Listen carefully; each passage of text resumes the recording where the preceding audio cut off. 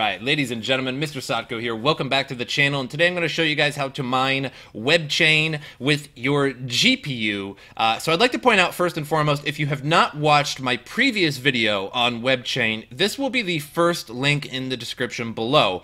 This video teaches you how to go to their website, get their uh, wallet, um, get the CPU miner, and how to connect to pools, etc. So if you haven't seen that, you're going to need to watch that so you can CPU mine first, because CPU mining with this coin is actually pretty good. Now, GPU mining is also pretty good because it supplements your CPU mining, and if not, gives you a lot more coins than just your CPU. Um, and that's what we're going to be doing today. So again, if you haven't watched it, go back and check out that and get the wallet and stuff like that. Get it all set up before you start GPU mining because you're going to need a wallet. Um, I would like to to say that this coin has gone up a lot in price in a very short period of time. As you can see, it used to when I started mining it, it was a four tenths of a cent, and now it's over a penny. Uh, and it mines very quickly. So with this, and with uh, even just a few GPUs, you can mine a couple hundred of these a day. Just if you just leave it 24/7.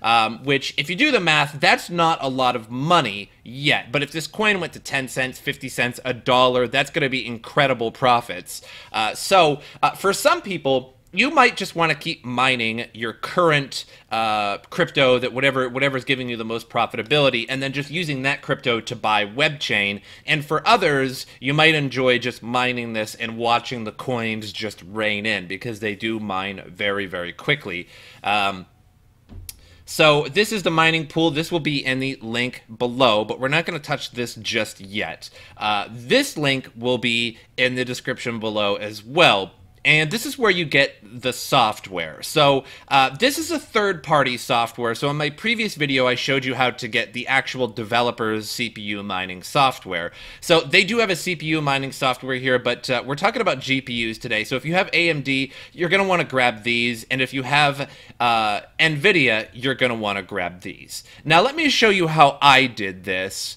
uh, just to, and this is how I'm going to do the tutorial. So this link will be in the description below and this is just the NVIDIA miners on GitHub. Uh, so I use NVIDIA GPUs, although AMD GPUs are sometimes more efficient and less costly, but uh, either way, uh, I have NVIDIA GPUs. So I'm going to show you how, how to do this with NVIDIA, uh, but uh, with AMD, it's going to be fairly similar. So uh, what I did... Um, is scroll down a little bit here. You can see 1.2, and then there's this open source, the Miner V1. So now it is open source. Uh, this used to be a closed source software. Um, so I went all the way down uh, to here. As you can see, WebChain Miner Win x64 Ubuntu. Um, and what you need to get is this file here, the config, the lib xm rig, the loud webchain.exe, and the run.bat. So you need all four of these. Uh, so grab run me.bat, loud lib, and config and throw them all in a file cleverly named WebGPU. How do you guys like that? So now you'll have all of these files here. Um, now, when you try to run the software, it should auto um, auto populate the you know the, the config file. Um, but if you have this config file, you can kind of just do it yourself. Um, so you can try and run the software first and have it auto-populate for your GPUs. Uh, but if it doesn't, I'll show you guys how to add additional GPUs in this software. Because when I first started running this, I actually had a problem with one of my GPUs. It must have gotten unplugged just a little bit from my computer. I think my son was down there messing with things. So I was only running two GPUs, and I was wondering why. Um, and it turns out um, after I had plugged it in and got it all running, this didn't re-auto populate. So you can delete the config file and redo it, but then you're gonna have to redo your public key and such. So first thing you want to do um, is check out the donation level. I think the donation level on this software is uh, set to 5%, if I'm not mistaken. So if you set it to 1, there's a minimum of 3% donation level on this software. However, somebody told me uh, in one of my live streams the other day that version 1.3 has no uh, required donation. So if you can find that, go ahead and use that instead. However, uh, I don't have 1.3, and um, honestly, the 3% is really not a big deal to me. Uh, maybe one day I'll just switch over to it. But for now, let's just show you how to GPU mine, and then you guys can do whatever you want uh, afterwards. So set that to one uh, because that's going to be the minimum. Uh, you might think setting it to one is going to is going to give one percent, but the minimum is I think three. So it still it still sets itself to three regardless. So you can put three or one either way. It's going to be the same thing. So uh, another thing I want to show you is go all the way to the right here. I was using my mouse scroll wheel, which was very inefficient. And in your user here, uh, your you have to put your public key. Whoops, it went all the way over on me. Um, in the user, you have to put your public key so that you can mine to your wallet. Again, you have to refer to my first video that I made on how to get that wallet. You just go to their website, and all the links are in that, and all the directions are in that video. So you haven't watched that, you should watch that first, CPU mine, set all that up, and then set up your GPU. Um, so again, you just put in your oh, it just keeps pushing over on me. Uh, you put in your public key there. Ah, uh, never, never stops. Uh, and your password is going to be your rig name. So if you know, if you set up the CPU as just like, and you put your your rig name as CPU, you can put your rig name uh, for this software as GPU, so that you can see the difference in the mining pool that you connect to but you can put it whatever you want and name it whatever you want. Now, the URL when you first get this software is going to be for Theta Pool. And Theta Pool is a smaller pool, but they do have different options. They have options for uh, difficulty options for Celeron and Pentium. They have difficulty options for mid-range processors, and then they have difficulty options for a uh, for like Ryzen, like Threadrippers and i9s and stuff like that. So you can choose to mine on that pool if you want. However, in the CPU video, I set it up as a web chain mining pool, as this pool. So I like to see all of my rigs on one pool, and that just makes it a little easier for me, and uh, I just like to see all my hash rate in one little spot. So uh, this is where you would put in your public chain, uh, your public key, excuse me, for uh, to look up your hash rate on this pool. Again, this will be in the description below. So once you actually get mining, you can put in your public key in here and see your rewards and see your hash rate and uh, see your rigs and stuff like that. Uh, let me just show you this real quick, and this is the help page on the web chain network. Okay, on the pool. So normally the difficulty is twenty thousand. Uh, and as you can see here, I put in this pool. So if you just copy what I put in here, pool.webchain, and uh, that's um, that's getting annoying pretty quick. but pool.webchain.network, um, and the port is 3333. So if you want to mine on the lower difficulty pool on this particular pool, uh, you just put in 2222 is the port instead of 3333. So easy enough there. So I like to mine on this pool, but if you want to keep it on Theta Pool, that's fine. But you should also put your CPU on Theta Pool as well. It, that just helps me keep track of it when I'm on the same pool with, with all my rigs, but it's up to you how you want to do that. But I recommend this pool. Uh, Theta Pool is okay as well. So now let me show you uh, this this thread here. So as you can see here, you have a bracket and then a wacky bracket and then uh, a little space that says index zero. Uh, so that is your GPU. So index zero is your first GPU, and index one is your second GPU, and then index two is your third GPU, and so on.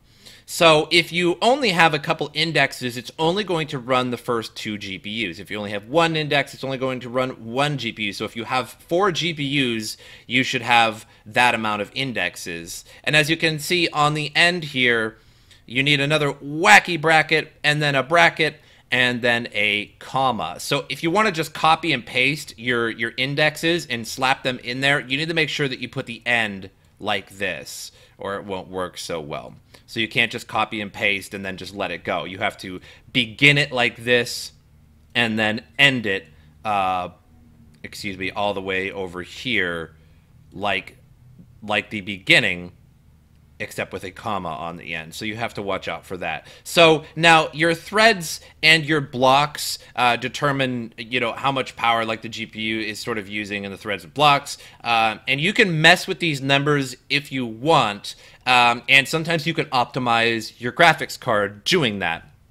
I had a few people suggest to use this thread and that thread. I even went to XMRig, uh, their uh, like their forums, and it was showing like what the recommended threads and blocks are for each different graphics card. And I tried those recommended threads, and it turned out that after about a couple minutes of mining, it would just crash. So Instead, I just used what it just sort of auto-populated, and it works just fine for me. Otherwise, anything else that I used did not work. So that's up to you how you want to go about doing that. Uh, so once you get mining, um, once you get that config file, you just click on this, and it will run and start mining and that is it now i would show you bringing this up excuse me i would show you bringing this up and show my my hash rate and me mining the problem is, is CryptoNight kind of bricks your GPUs, and I'm currently uh, uh, recording on this computer, and if I bring that up while I'm recording, it's going to brick my uh, software, and um, it's going to end the recording for me. So I can't do that, otherwise I would show you. So once you have this all set up and you click on loud webchain uh, or NVIDIA, it's going to work. Now, what I'm going to do is I'm going to copy and paste this, this entire config file, and I'm going to put it in the description below. So you can take this config file and uh, you know you can copy mine into yours. Now that doesn't necessarily mean that that's going to be the most efficient for you. Uh, these do auto populate uh, when you when you uh, click loud miner and you can choose to um, you know manipulate them however you want to.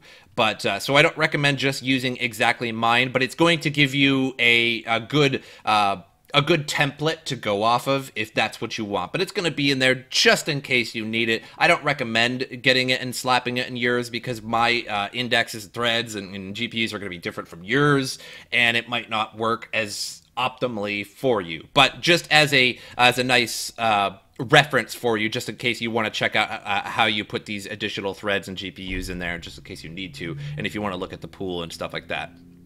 But that's all, and um, that that is it. So when you get to the mining pool, you just type in your address, and you'll be able to see uh, your hash rate. Um, I would like to talk about the coin for just a moment. Um, I talked about the coin mostly in the first video, as again, this will be in the in the description below as well. And uh, so I started mining uh, about this price, maybe uh, four tenths of a cent, maybe three tenths of a cent or so, and it's all the way up at one penny. which is pretty incredible growth. Now, there may be dips and pauses in between, uh, but when I started mining, the market cap was about 200 and some thousand dollars. Now it's $528,000. Uh, when I first started mining, the volume was only $4,100 a uh, in a 24 hour period and I actually show you that in this video so you can see the market cap and the, and the volume uh, previously and how it has grown. So $18,000, um, you know, $19,000 is really uh, not a lot at the moment. But that just goes to show that you're going to be able to mine this coin very, very quickly and get on it before the price explodes. And that's what you have to do in crypto. Um, everybody knows that by now. If you would have gotten on Bitcoin in 2009 and mined the hell out of it, you would be making a lot of money today. Um, and the same thing with this coin. You need to get on it now and start mining it, start buying it now uh, before it goes way up in price. And if you miss it, uh, there may be other coins, but uh, I'm just trying to show everybody how to mine this coin and um, trying to give you guys a heads up. But uh, that's all I have for you. I hope you guys enjoyed it. If you guys have any questions, put them in the comments below. Feel free to help each other out with uh, each other's comments and problems. Um, and I think loud uh, loud mining for the uh, for the software and stuff for the GPU. Uh, he comments on my channel from time to time, so thank you for that, and thank you for the developers of WebChain as well for making the coin. But uh, I hope you guys enjoyed it, and I'll see you guys next time.